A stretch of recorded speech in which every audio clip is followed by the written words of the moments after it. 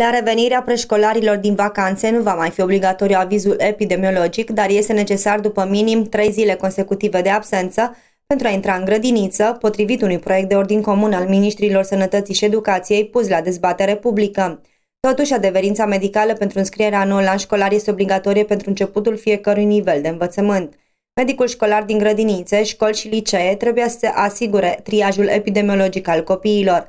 Potrivit proiectului, medicul inițiază, coordonează și efectuează împreună cu asistenții medicali triajul epidemiologic la intrarea și revenirea în colectivitate după vacanțele școlare sau ori de câte ori este nevoie. La revenirea preșcolarilor după vacanțe nu este necesară prezentarea avizului epidemiologic.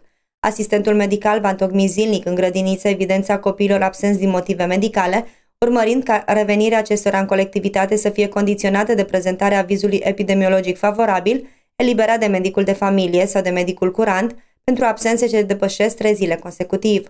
De asemenea, avizul epidemiologic eliberat de medicul de familie sau medicul curant este necesar la înscrierea în grădiniță, însă nu și la școală. În schimb, adeverința medicală de înscriere în colectivitate este necesară pentru începutul fiecărui ciclu de învățământ.